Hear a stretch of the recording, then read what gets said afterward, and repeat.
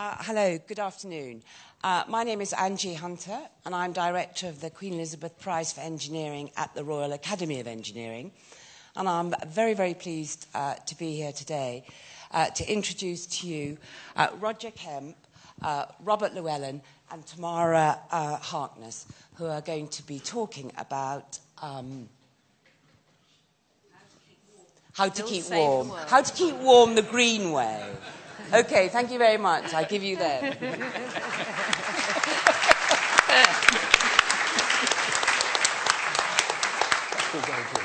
Thank you very much. Yes, we're very grateful to the Royal Academy for sponsoring this event. Uh, I am Timandra Harkness, indeed. I'm, uh, I'm on the Cheltenham Science Festival Advisory Board, and I have a great interest in engineering, largely because I'm previewing a, what we're calling a working prototype of a new comedy show about engineering, also sponsored by the Academy on Sunday night. Uh, but for now, I'm here to chair a more serious event. We have two great speakers with uh, a very wide range of different perspectives on this question. Uh, so we're going to hear from them first, and then we should have lots of time for you to ask questions, and also if you want to pitch in with your point of view, that would be great as well. I should probably declare my interest beforehand. As I said to the speakers, I'm one of those people that as long as I can keep warm, I'm happy. And uh, I'm the one that always turns the central heating up as soon as my flatmate goes out. And then he comes back in, turns it down because he's Scottish. So, uh, sounds like I may be playing devil's advocate a little, but that's fine. You have two expert speakers here. So, we're going to start off with Professor Roger Kemp from Lancaster. Uh, oh, no, sorry, we're not. Ah, we spent ages discussing this, and I still got it wrong. It, could he cut that bit out of the film? Oh, yes, I should say actually, the, the Royal Academy uh, is filming this for their own archives. So if anybody is here because you've bunked off work, uh, try to make the back of your head look like somebody else. And if you're here with somebody you shouldn't be here with, just don't hold their hand. Um, but we should be fine. It's only for their website. Uh, so, no, we're going to start off uh, with Robert Llewellyn, whose face is probably familiar to you from programs like uh, Red Dwarf and Scrap Heap Challenge. Uh, but he said he had a, a, a, moment of epiphany when he was given a ride in an electric car in 2001. And it sounds like since then he's been driving a, a huge range of them. He's got one parked outside if you're really nice to him then he might, um, he might show you it afterwards. And he's also got a new book out, which is a science fiction novel. So if you're really nice to him, you might be able to go and buy a copy in the bookshop and he'll sign it for you. Uh, but first of all, he's going to speak to us about how we can keep warm and still save the planet. Fire away. Thank you. Uh, this is agony for me. But then, can we keep warm and still save the world? Obviously, is a very good question. Um, I'm going to let Roger explain r- the true enormity and complexity of the, the task that's ahead of us. But I'm, so I'm going to try and paint a sort of bigger picture of why we might need to do something to find a way to keep warm and save ourselves. Because in the end of the day, the planet can probably look after itself fairly well if, if we weren't here. Um, I do have a bit of a problem with the flippancy of the title of this talk, I have to say. Um, anyone who sets out to save the world is obviously going to be open to derision and ridicule. And in a way, rightly so, because, you know, how can any of us save the world? We're not that important. But However, can we actually keep warm, uh, transport ourselves, live in a civilized, technologically advanced way, and not destroy the planet we live on in the process, or each other in the pursuit of the diminishing resources that we have? And my argument is it's not easy, but it is possible. And that really is the kind of crux of the whole thing. Uh, we do have to learn how to maintain and, uh, and adapt our civilization as we move towards technologies that essentially don't require us to burn stuff and this is something I've come to uh, through discussions with engineers and scientists and looking at all the different options that are open to us. If we start to aim towards not burning stuff, we're not going to get there quickly. It's going to take uh, probably hundreds of years. But if that's the aim of the human race, is to find ways of using technology, of using, uh, of, of maintaining our lives, of living in comfort, not living in medieval squalor, uh, the, the, less stuff we burn, just by definition, is quite a good thing to aim at. And I'm trying to sort of encourage that as a way of thinking about these things. Do we need to, do, do we need to burn stuff to make this? And, and, one of the things that really threw this into uh, uh, very highlighted for me, that must be one of the worst sentences ever, threw me into a highlighted for me, uh, I think you know what I mean, uh, was when I saw uh, and, and spoke to a student, a Dutch student, who has devised a way of making glass without burning anything. When you think of glass, you think heat, and you've got to have a massive furnace, and you have to have melt loads of glass, and you need gas, and you need electricity. And he just uses, I mean, I did it as a kid. Most boys have killed ants with a magnifying glass on a pretty big scale. And he uses a 3D printing technology and a box of sand in the Sahara Desert and a massive lens above it. And he moves the box like this underneath the, the, lens, and it focuses a beam of the sun's light onto sand, and it melts the sand into glass. Now, this is an experiment. The glass bowl that comes out of it looks like it's been made by a three year old in a nursery.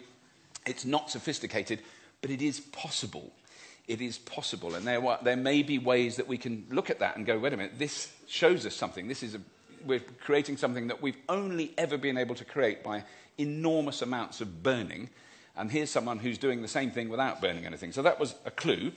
Uh, so I, the, I think the, the, the world is, has changed dramatically in the last 20 years in terms of its it, political discussion. I think the, the politics almost now globally is between technological optimists who think we can do something about the, the way we live now, and Luddite pessimists who think we're approaching the end of the world anyway. Let's drill more, burn more, let's get more stuff, let's go further, let's go into the Arctic and into uh, weirder and weirder places, and let's scrape up sand and boil it and get some oil out of it. Let's just keep getting oil no matter what it costs, no matter what the massive cultural and and environmental damage it does. We've got to have more oil because there's only one thing that works, and that's burning stuff.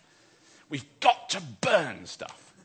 And that, the burning stuff is, I drove here today in a little electric car that is the most ridiculous thing. It looks like an egg box on wheels. It's very comical. It makes other people nearly crash because as you drive past another way, they go, bloke in an egg box. But all I, what's important is that car this morning was charged purely by solar energy from solar panels on my roof it didn't burn anything to get here. I drove 26 miles to get here, uh, at, not at very great speed, 50 miles an hour is as fast as that little thing will go, uh, but I didn't burn anything. The fact that that's even remotely possible, that I could sit in a little machine and drive 25 miles without burning anything, is, I think, quite remarkable. And I've charged, uh, uh I've driven over 27,000 miles in electric cars in the last couple of years. A huge amount of that didn't require burning anything.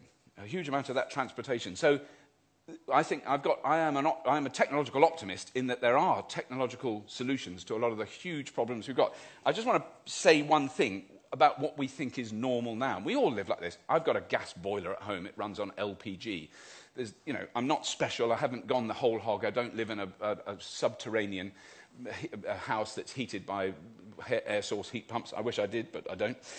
Uh, my missus won't let me dig the hole. Um, but if we think about what we do now, which is normal, which is we drill a hole in the ground somewhere very, very isolated, we extract gas, we transport that gas along thousands of miles of pipeline, we store that gas in high pressure tanks, we then put it on ships, and we bring it across the ocean, and then we put it in other high pressure tanks, and we then feed it into a huge network of pipes, and we then stick it into our houses, and we burn it in one individual little boiler, which heats the water, which warms our house.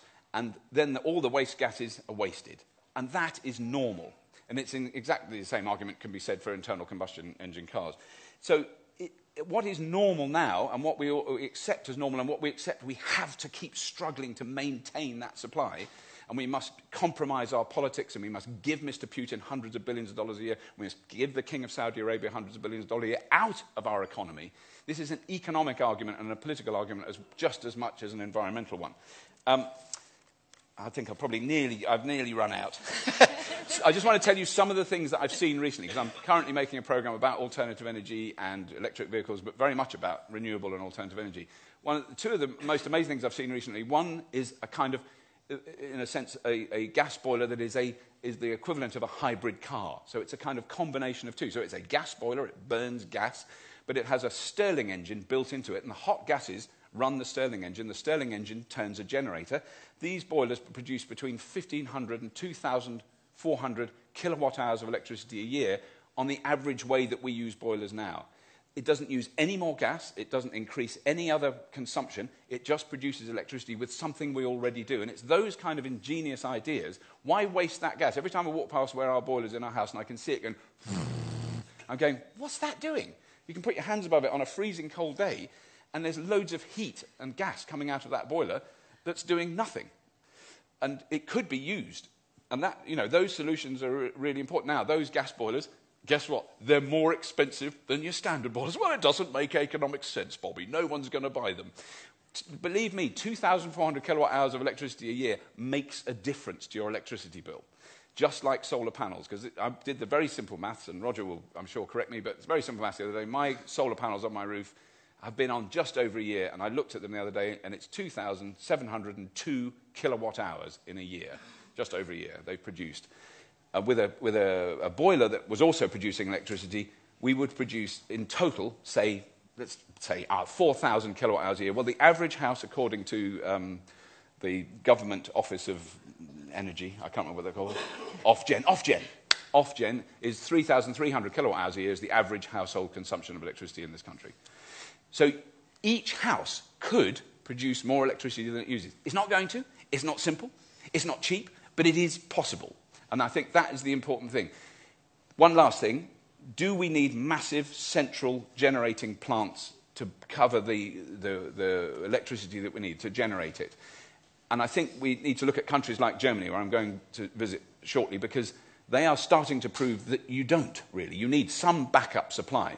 But their electricity generation is now spread over the whole country. Half of all the solar panels in the world are in use in Germany today. They produce over 20% of all their electricity just from solar panels. They're, they're aiming to produce 100% of their electricity from renewables by 2050. No other country is trying to do this.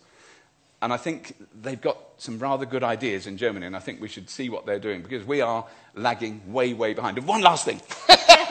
one last thing. A lot of arguments people go, well, there's no point me changing because China, what about China? They're burning loads of gold. It's awful, awful, awful. If you look at the very simple graph of the amount of kilowatt hours per head per person that is used, China is so low down on that spectrum you can barely see it. America is just colossally vast and the United Kingdom is frighteningly close behind them. So we consume vastly more kilowatt hours per head per year than 90% of the rest of the world. So there's massive discrepancies, and it, we could generate our own and reduce by insulation and by all those other things, and there's other discussions that will come up, but I've gone on too long now.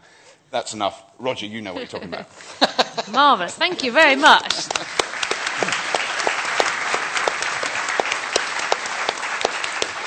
Absolutely loads to think about there. And uh, obviously, what do we need to make technological optimism work? We need an engineer, of course. Luckily, we have one here, Professor Roger Kemp from Lancaster University Engineering Department, who's done a variety of very interesting jobs in the past, uh, but most recently, he, uh, he chaired a report for the Royal Academy of Engineering, which I think he's going to talk about precisely about heat.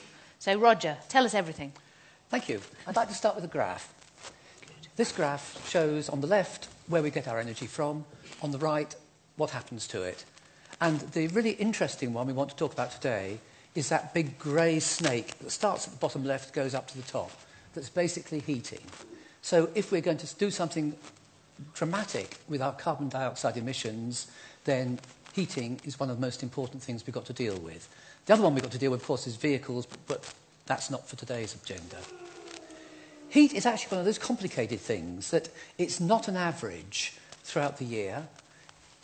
Vast amounts of heat needed, I was going to say in winter, but actually, seeing as I was... and yesterday. Seeing, seeing as I had heating on over the entire weekend, um, it's needed at certain times, not at other times. And this graph shows 2010, where you can see that in the middle of winter, we were using 300 gigawatts of heat.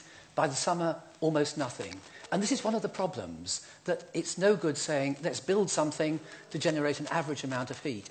We need it when we want it. This is where it comes from. Don't worry too much about the detail, but the blue is gas. The big bar on the left is heating. The next one along is uh, space heating. The next one along is water heating. And just looking at it very quickly, it's gas that we've got to cope with. That's, that's the big challenge. And this is really what in the academy we sometimes refer to as a trilemma. A dilemma's got two sort of issues. This is a trilemma with three problems. There's a Climate Change Act, an obligation to reduce carbon, there's affordability, and there's security of supply. We always used to talk about keeping the lights on. I think nowadays probably keeping the television on is more important to a lot of people. And that is the sort of the big problem between these three totally conflicting objectives. Now you could say, let's just build lots of renewable energy, stick it into heat pumps, get rid of gas boilers. But just doing that without doing anything to the structure of buildings starts becoming expensive. And particularly when you take into account the fact that you're not going to need heat for perhaps six months of an average year or about three weeks of this year, um, you then start saying, well, it's quite easy. We just need to build 20,000, 30,000 wind turbines. And by the way, we won't use them for most of the summer. Economically, that doesn't make sense. Ideally, we should be building houses to the best standards. And you look at some homes, they're brilliant. In fact, you can keep the entire house warm just by using your computer and by walking up and down stairs to generate a bit of heat. But most of the houses that will be around in 2050 have already been built. So this is not necessarily the solution. Everyone's telling us we've really got to insulate our houses, and of course we have. If we've got a house with cavity walls without insulation in it, or a loft that's easy to insulate, great, let's do it. But how many houses are like that? These are just some of the houses kicking around Lancaster, near where I live. And uh, they've got loft spaces you can't get into, they've got solid walls. It is difficult to deal with um, all houses. So we've got solutions that work to some sort of buildings, but perhaps not to others.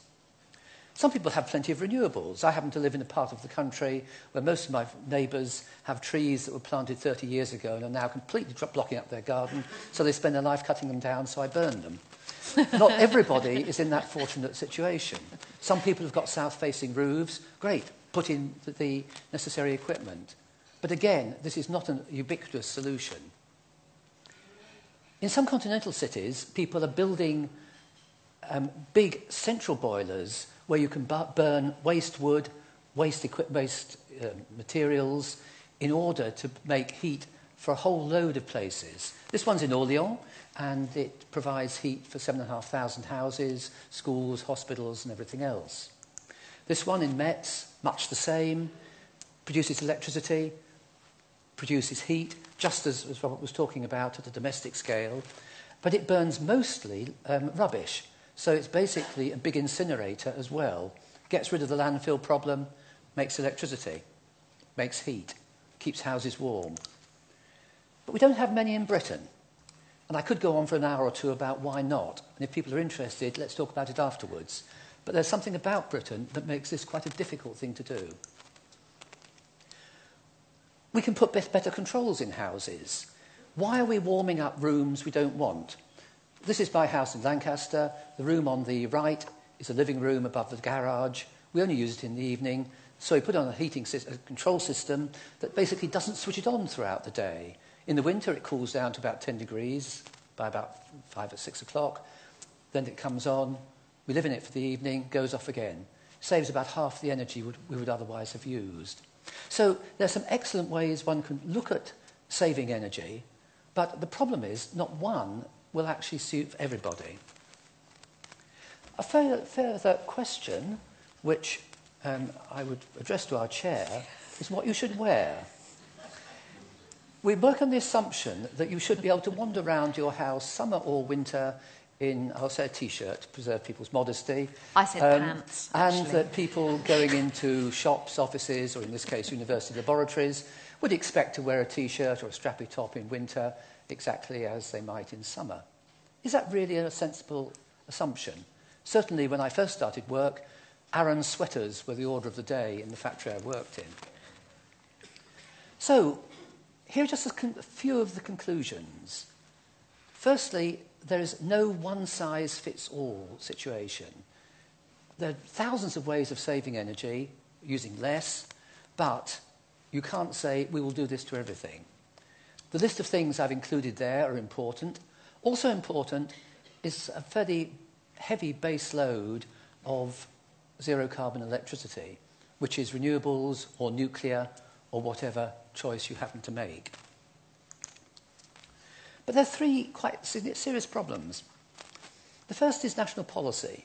At the moment, we seem to have a heat policy, we seem to have a transport policy, we seem to have an, energy, an electric, electricity markets policy, we've got a policy that sells off things, buildings that might otherwise use energy. None of these seem to be tied together.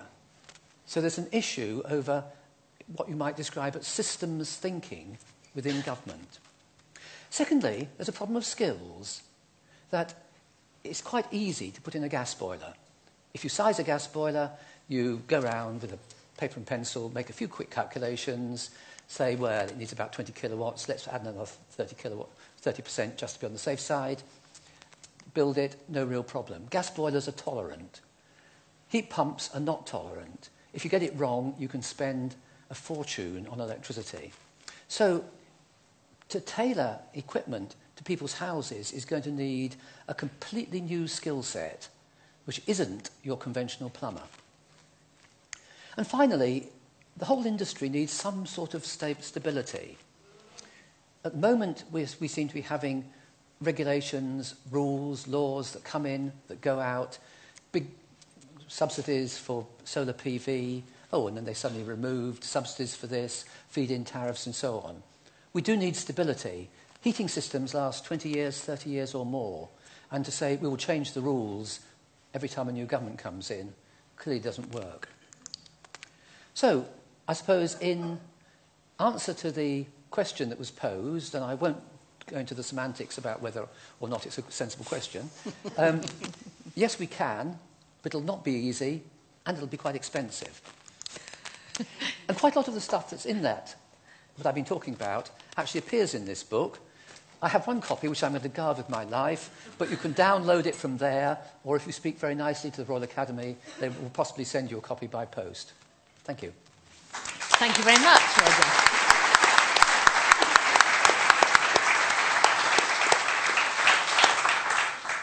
So there you are. We've got techno optimism on this side, and then we've got the engineer saying, it'll cost you.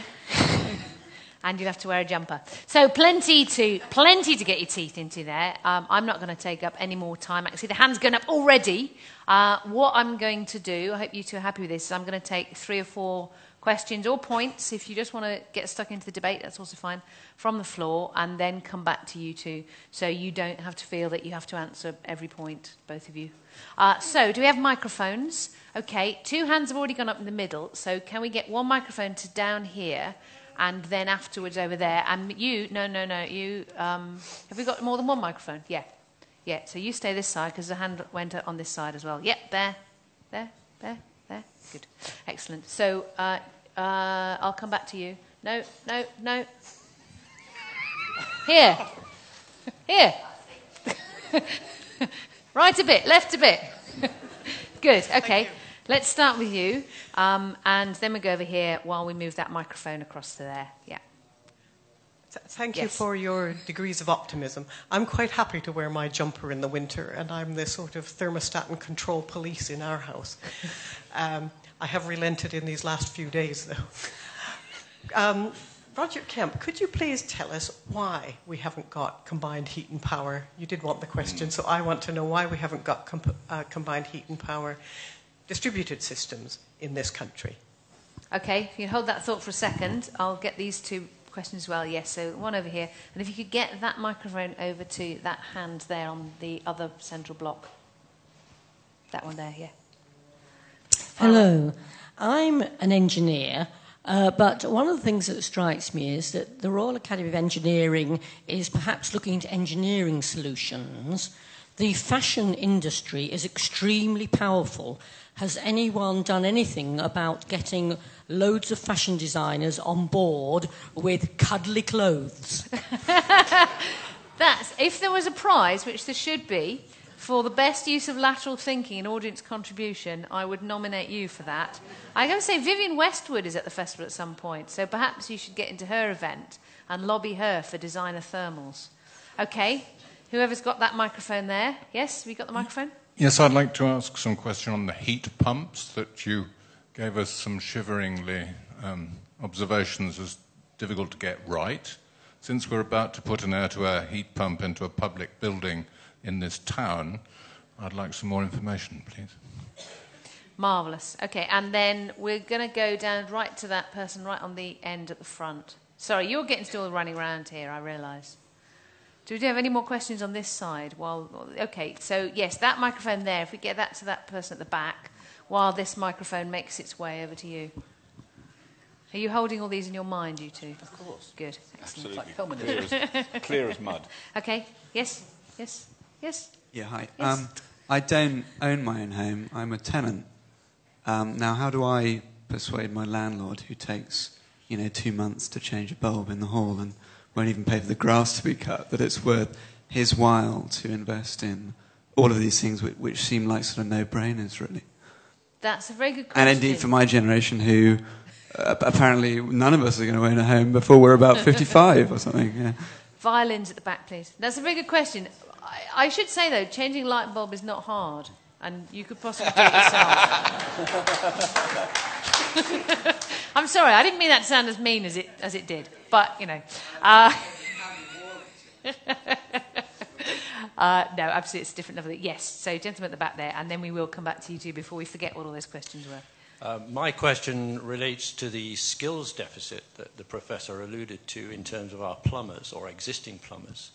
How does he see that being fulfilled, that de- deficit, in the short to medium term from our colleges and training providers?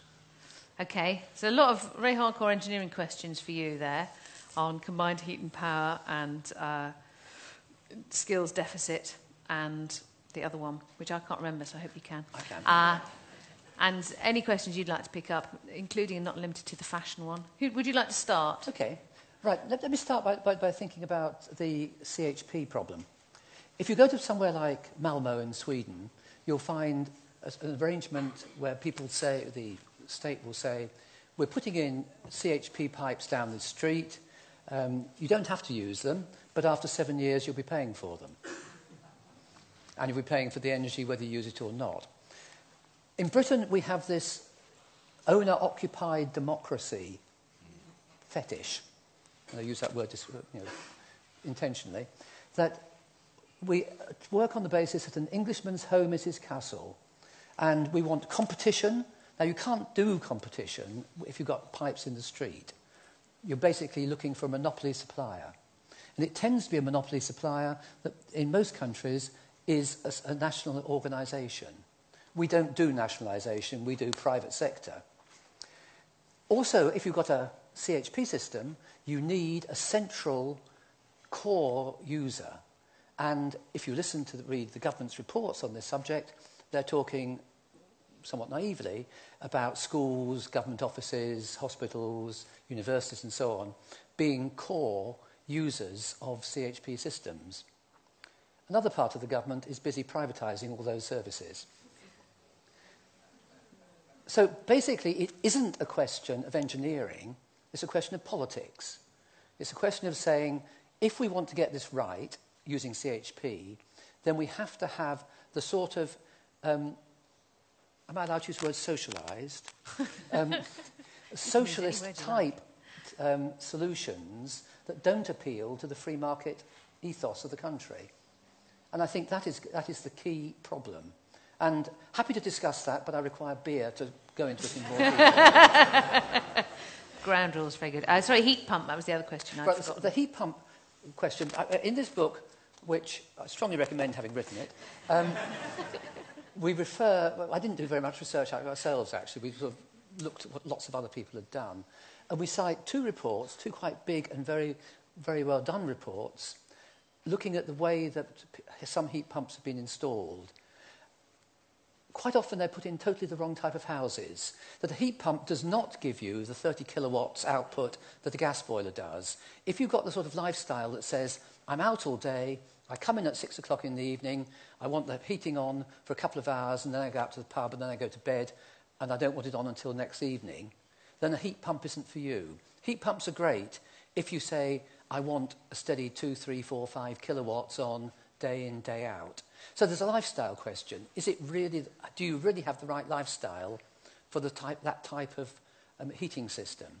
Then there's a question about insulation, that to use a heat pump effectively, you need a long thermal time constant in the building, which means either you have to make it very heavy, or you have to make it with a, a lot of insulation between the mass of the building and the outside.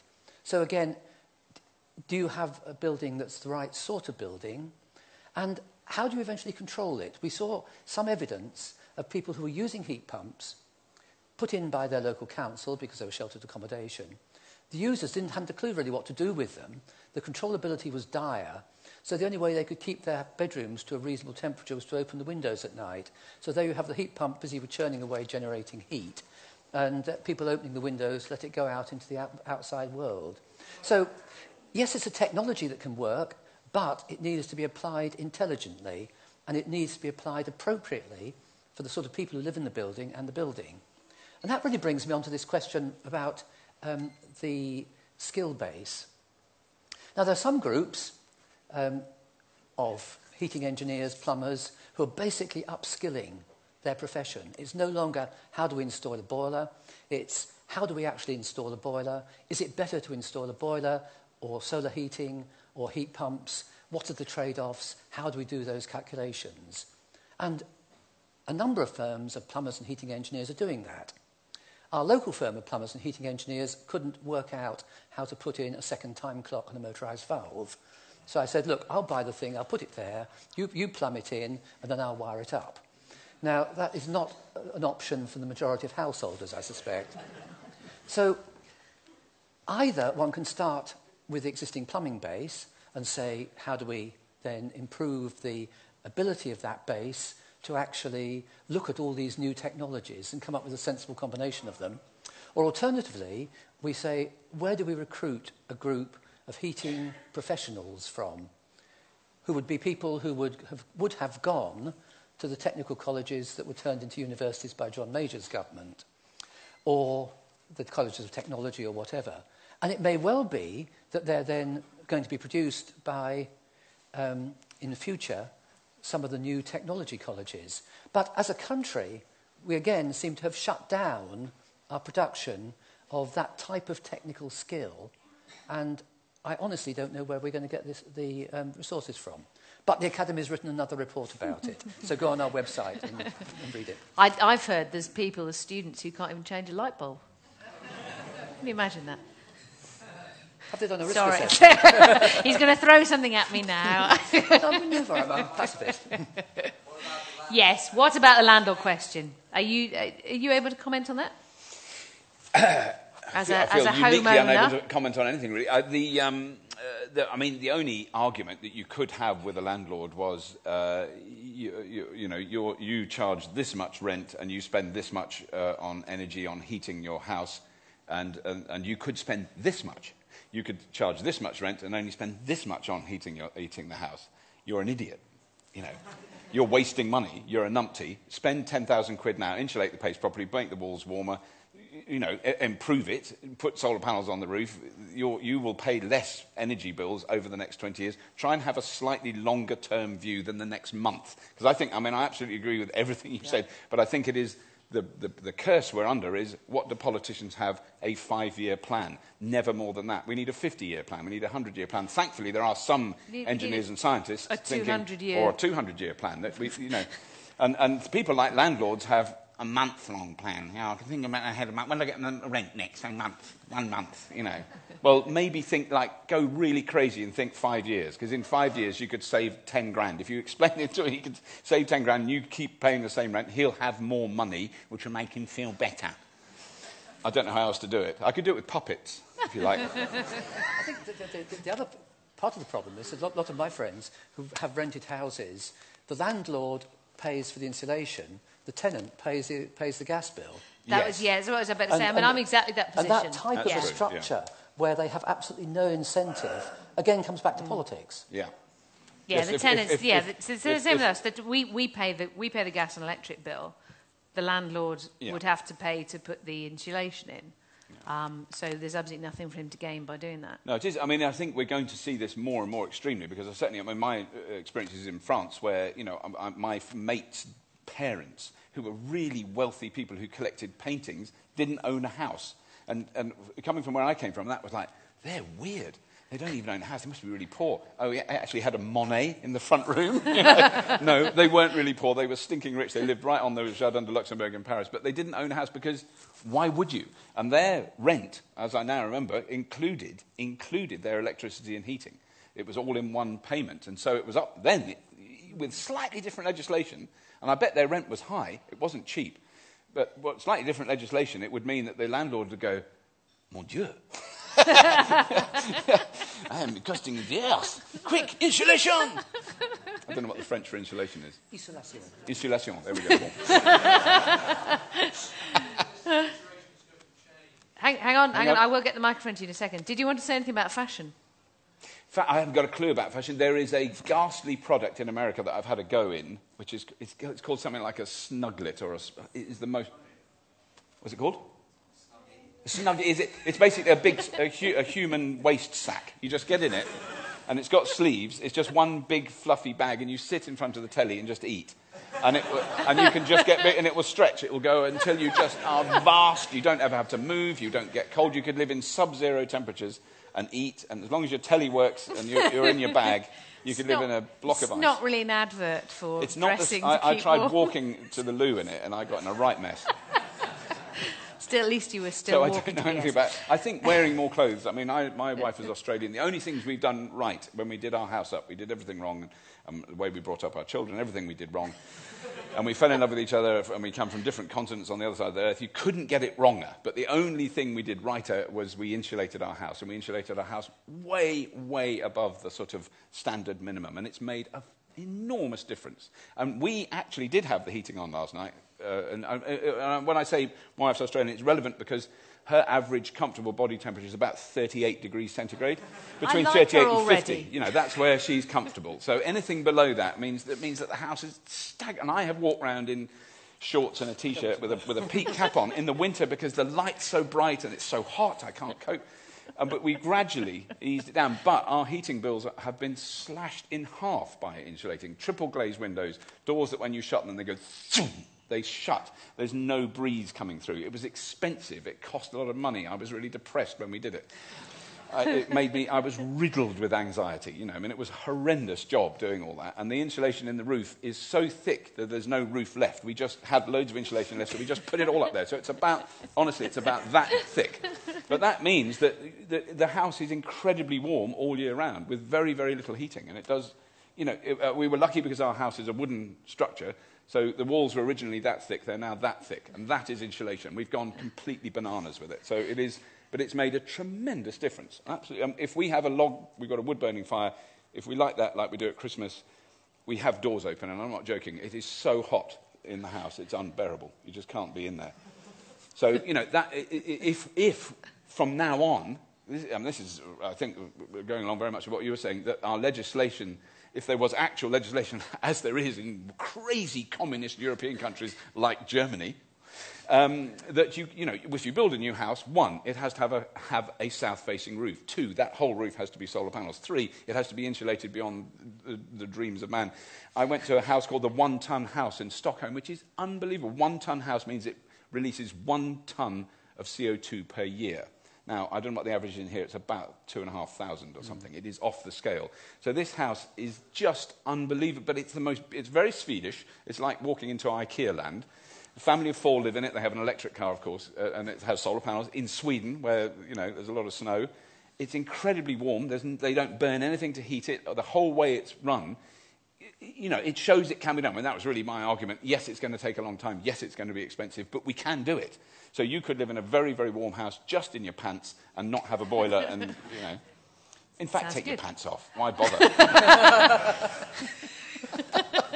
Sorry, maybe that was, I was just, just- a bit too far. I, I was just thinking, oh, everything needs to do is marry an Australian. That's my problem solved. Right, I can see loads of hands going up. Uh, we want to get as many people in as we can. There's two very keen hands going in. So we'll start with a gentleman at the back who can barely contain himself, and then come forward to the gentleman a bit further forward. On this side, Yes. we've got a hand near the back there, and then we will come in and get you guys as well. So yes. This is just a comment about the landlord tenant situation.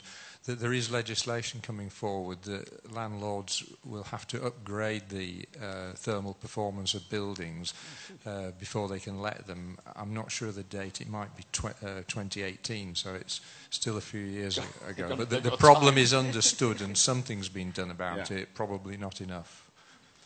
There you go. Well, there's a partial answer yeah. for you, although depressingly, it'll come into force about the time when you can afford to buy a place and rent it out. So, uh, and yeah, if you'd like to move that forward, and while you're doing that, yes. Um, hi. Uh, Robert, you mentioned Swedes. I'm glad you did. Um, Fanagram Designs and Kevin McCloud talks about Swedes a lot because they have, you know, triple glazed windows and this really brilliant glass and all this stuff. What I want to know is I don't think that's legislation. I think the Swedes just do it. I want to know both your opinions on the British public, actually, from what you've seen from your individual roles in what you do about. Um, and whether are we just a bit rubbish and apathetic about it? Are we just going to sit back and expect legislation to want us to do what we need to do? And also, from when you've been uh, either travelling or your knowledge, is which is the best country for actually doing it off their own back for getting really good houses there? Okay. Low so on carbon. Okay. Save up that chance to really slag off British people and your audience. Uh, gentleman there in the blue shirt, yes. Sorry, I will come to you as well. And meanwhile, uh, that hand there you can't see just by the pillar. Yeah. Yes. It was being advocated that our long term aim should be to burn nothing. Did you include in that biofuels, wood, bioethanol, and so on? And could you explain why not? Okay, being called on your wood burning stove, I think. Oh, yeah. uh, yes, lady just there. I think possibly for offices and certainly for houses, it would be nice to have a clock that showed you what you were using of both electricity and gas together. And if possible, put money terms on it. yeah. Both for economy, you know, in heat and also in money terms.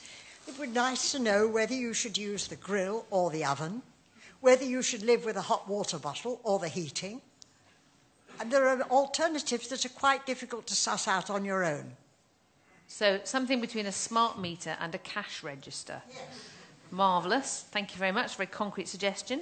I'm yes, on the front row there. Oh. Hello. Um, I'm blind, so Please forgive me if you already said on the slide, but um, you said about uh, this car that drove without burning fuel. And I'm just wondering, like, how is that possible? Because Maybe it's an electrically powered car, but doesn't uh, electricity generation usually involve burning of fuels? Okay, thank good. you.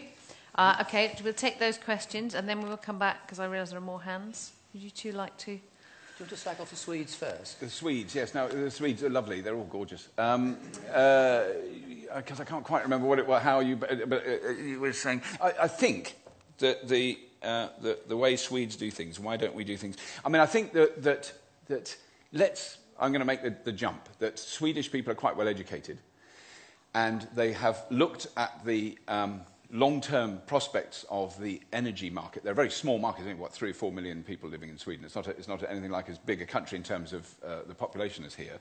Uh, the, I've spent a lot of time with Volvo cars there. The way they think about cars is very different to the way we do. The way they think about car ownership, very different to the way we do. The way they think about home ownership is very different to us. They understand that we are coming to the end of a very long period of cheap, abundant energy. We've had coal in our own backyard. We've had oil that cost pence per barrel. We've had natural gas, natural gas, I love that term, that was in our own sea. And we got it out there as quickly as we could and we used it. We had big rovers. I'm a man in a rover and I know what I'm doing. and we burnt that stuff by the trillions of barrels. For the last 60, 70 years, we had some massive wars. We used a few trillion barrels in that. We're used to it. It's normal. It's what makes us comfy. It all works. We can now drive to the garage and get fuel. We can just turn on the tap and the water's hot because we've got the gas. It comes from Russia. We don't have to think. And those things are going, you know, no matter what anyone says, no matter what the Republicans say, that we'll just drill more and there's tons more gas. I even have a very good friend in America who believes that the tectonic plates are shifting and that is creating more oil as that takes place because oil isn't a fossil fuel and it's all a liberal conspiracy uh, foisted on them by a Muslim president who wants to crush the Americans' freedom to drive a pickup truck. So we have to accept that these resources are going to do two things, not in our, any of our lifetimes or even our children's lifetimes, but in our grandchildren's lifetimes, run out. That means there won't be any gas. So it doesn't matter how efficient our boiler is, it's not going to work unless you fart into it. You know, that's the only choice. and so surely a longer term view, and that's what I get the feeling from people in Sweden, that they're, they're, they're, a lot more people are taking a longer term view and in a very Swedish way and going for my grandchildren, I want to have a house that is still warm in 200 years' time, as it is today for me when I have the free and very cheap natural resources that I can take out of the ground. Soon we won't be able to do that, and you know, blah, blah, blah. So when you actually look at IKEA furniture, I don't think that has a massive long term view, but. Um, that might be another thing. So I, you know, that, that is, the, I think the, it is an educational thing. It is an overarching educational thing that I think goes hand in hand with legislation. That if there's public pressure, that people are going, really, we need to sort this out. Really, we do need to talk about this. We need, I want to have a south-facing roof on my house with solar panels because it does make a difference. And the more that's in the ear, in the ear of the politicians and in the ether, it's in the discussion in general, the general population, then politicians of all colours will go, damn, going to have to bloody do something about that. you know, one hopes, one prays that that is the case. I mean, certainly. But I mean, I think it, the, the one last thing I'd say is, it, it, having spent a lot of time in America, we're better off. We're kind of in between America and Sweden. So in America, it is absolutely drawn on party lines. If you vote Republican, you want to drill and scrape oil out of sand and dig stuff up and cut down trees and run pipes everywhere. And if you're a wishy washy, lefty, liberal Californian tosser like Tom Cruise, no, not Tom Cruise, who's the other one? George Clooney, lovely George, he's gorgeous. then you want to have wind turbines and electric cars, you know, and that's, that's that sort of, and it's completely divided. And then actually in this country, both uh, shades of government in the last 20 years have been equally shit, but, but kind of agreeing with each other that we do actually probably have to do something about the way we use fuel. Do you want to make some kind of response to burning things, including clarifying about the car that yes. doesn't burn anything? The burning thing thing, I think, I mean, I, I think, it, I think all I'm saying is it, it should be a target. It's going to take incredible amount of ingenuity and new technology we don't even know about yet, new materials we don't even know about yet, to achieve it. It may not be achievable, but to have it as a target to aim towards is what I'm really talking about, rather than, you know, a, suddenly a law gets in, you can't burn anything. Oh, let me, I want to light a match. You know?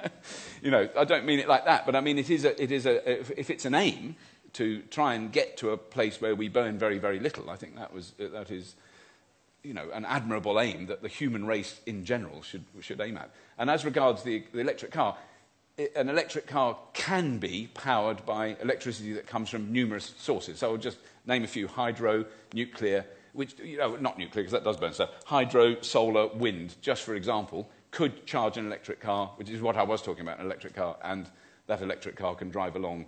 So it's possible it's, very, it's still at the moment rare, extreme, difficult, awkward, but it's not impossible. That was the point I was trying to make. Thank you. What would you like to? Uh, I'd like, like two, two points there. Firstly, electric cars are brilliant in that they have storage. And in the future, we're likely to find that a lot of our electricity generating systems generate when the, when the weather wants us, wants us to have electricity that when the wind blows, when the sun shines, when the tides go out, when the phases of the moon are correct, or whatever, then we get electricity.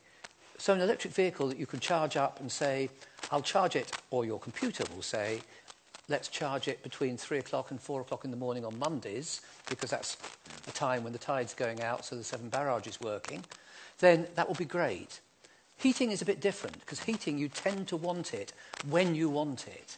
And this, I think, is one of the big differences and one of the importance, important reasons for trying to bring together your transport policy and your heating policy because to put in a lot of heat pumps and a lot of electric heating without at the same time being able to use electricity at the times when you don't want heat is going to make things very unecono uneconomically attractive.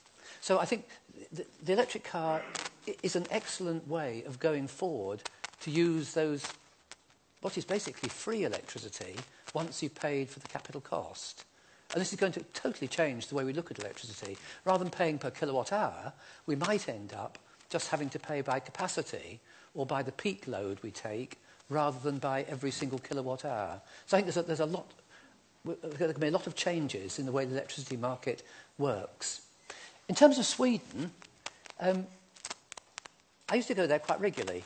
And in winter, you could guarantee that inside was a nice warm temperature, outside was minus 20 or minus 30 or something. And therefore, you know what you're dealing with. Trouble is, in somewhere like Manchester, sometimes even in the middle of winter, February, you find it's a nice warm day. So, so we don't have the same incentive to say, I will really insulate my house because I know that for three months in the year it is going to be really cold. Whereas if you're in a country that is Northern Europe, more of a continental climate, you've got a far better idea as to what you're going to have to live with. And I think we have a, a problem in Britain that we never quite know whether it's going to be cold or hot, whether we're going to need air conditioning on in March, as I think we did, some of us did last, last March, whether we're going to need heating on in the middle of June. And so it becomes a bit more difficult to know how you plan your heating. Insulation is good, but particularly in the damp western coast part of Britain, you've got to have um, air movement, you've got to have fresh air, you've got to have means of getting heat in and heat out. And all that becomes much more difficult to do than trying to arrange good insulation and good heating in somewhere like Siberia, where it's very dry, for, for an awful lot of the year, but also very, very cold. Yeah, if we could only find a way to get power from the rain, then Britain's power problems would be over, wouldn't they? Okay, we've, we've almost run out of time. We've got about five minutes left, so I want to try and get everybody else in who wanted to speak, but I'm going to ask you to be concise. Whoa, and the hands go up. Okay, so I'm going to focus on the middle section. So there was a hand there near the back, yes, lady just on this side in the middle section. While we're just waiting for that, can I just very quickly say about rain? Yes, Because uh, one of the best installations I've seen, it was in an old Saxon mill, which was a hydroelectric plant. It runs the, or generates all the electricity for a village in Dorset all year round, not, not reliant on wind.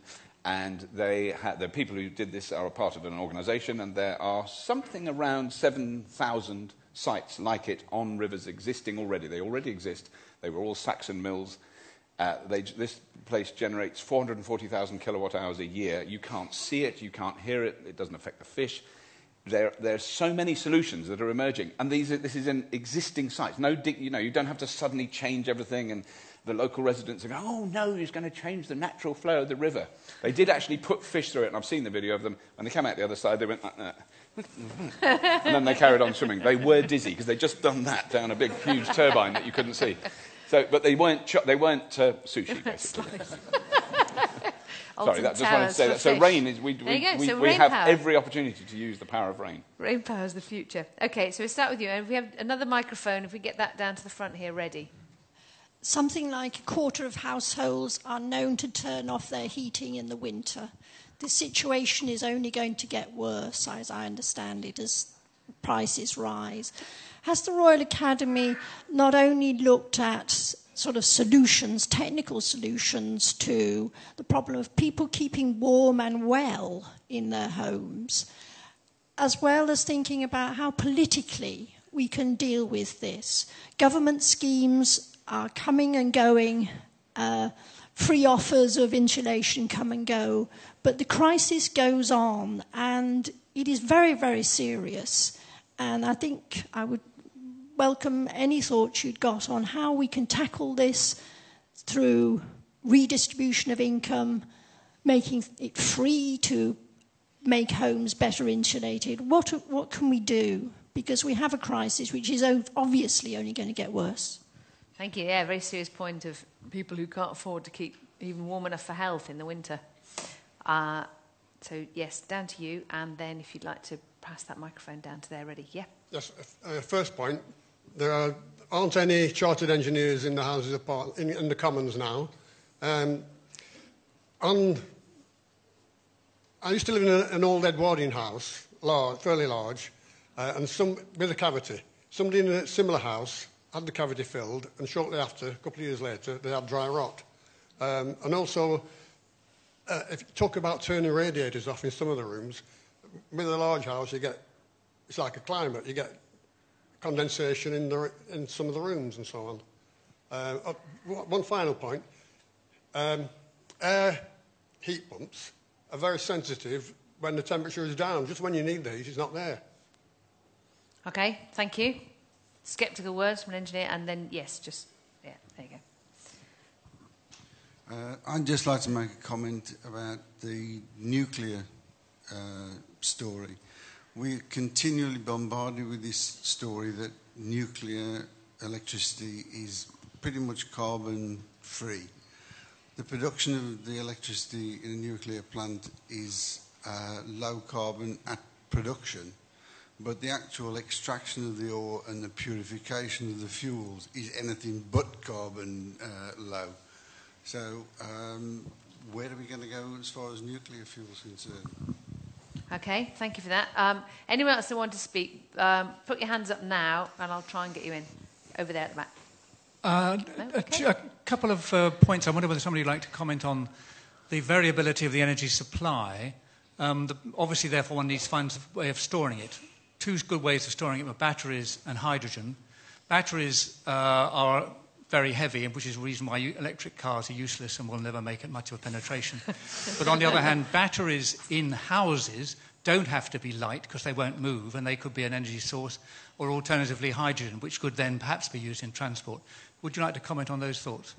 Marvellous. Okay, well, I'm going to come back to our speakers now. Uh, we've got about two minutes left, so oh yeah, I'd like you to both briefly answer all those points and give boom, us boom, your, boom. your final thoughts, if, if that's okay. Okay. You'd like to, um, you'd like to go first? Could I talk about batteries? Because that's, that's the last question. In, in this book, we calculated the size of a battery you would need to replace the coal pile at a, at a coal-fired power station. And if you take a 2 gigawatt power station, which is a fairly normal sort of size of a coal station, um, the battery, if you wanted it to store a month's output, which is a sort of thing you need if you're going to have a, a long period of anticyclonic weather in the middle of winter, the battery would weigh 20 million tonnes and cost billions of pounds. So in terms of battery storage, it's great for relatively short-term storage, a day or two, of a relatively limited amount of power to drive a car. It can't pr provide the sort of storage that you need to keep the grid afloat during a three-week period of anticyclonic weather when the wind turbines aren't working. There's a huge problem with storage.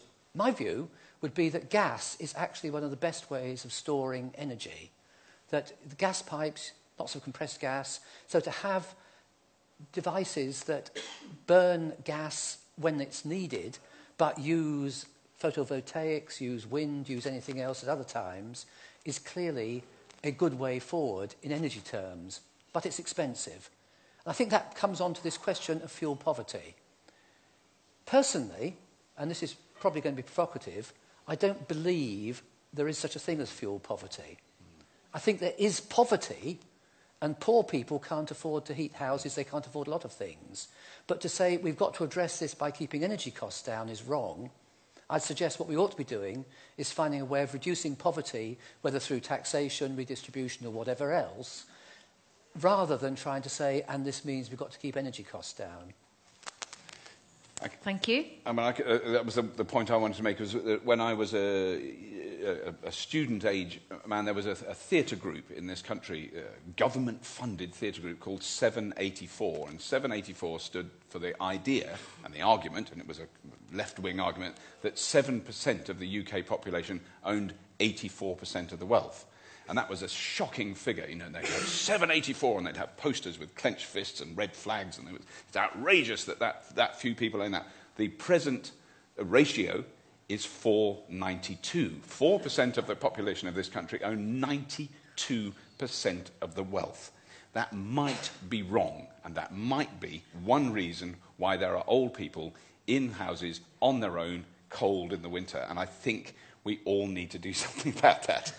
And the fact that the most recent statistics have given the top 1% of British executives a 12% pay rise when no one else gets an extra penny means that why aren't we on the streets screaming our heads off, excuse my French? well, there you are.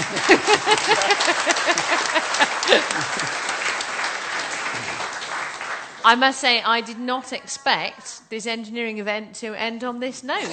But uh, all I can suggest, people of Cheltenham, is that you follow Roger and Robert out, um, follow the red flag out to the, probably to the bookstall at the back, uh, and or if there's a bar outside, if you ply Roger with beer, he will have an argument with you about combined heat and power. And, uh, and I think we all owe a big vote of thanks to the Royal Academy of Engineering for this.